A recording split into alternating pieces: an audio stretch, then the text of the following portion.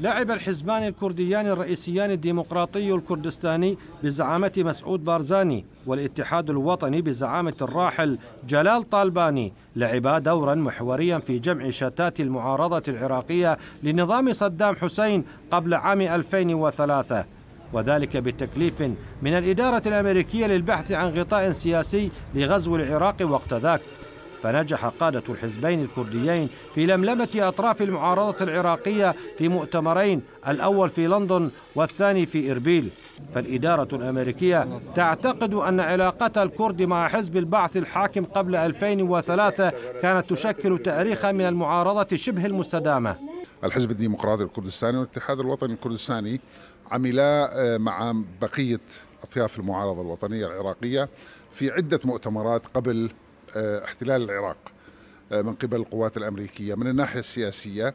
وكان الموضوع الذي آه، طرحه الرئيس مسعود بارزاني في حينها في مؤتمر لندن إنه يجب أن نفكر قبل إسقاط نظام نظام النظام السياسي في العراق أن يكون البديل كيف سيكون البديل؟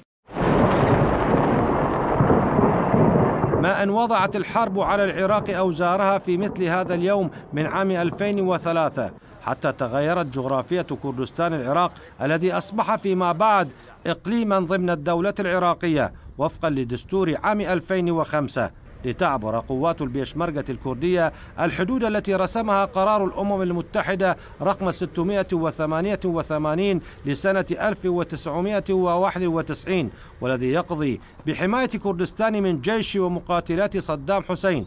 فسارعت البيشمركة إلى ضم محافظة كركوك النفطية إلى الإقليم الكردي وضم مناطق أخرى باتجاه محافظتي نينوى وديالا المحاذيتين لكردستان العراق.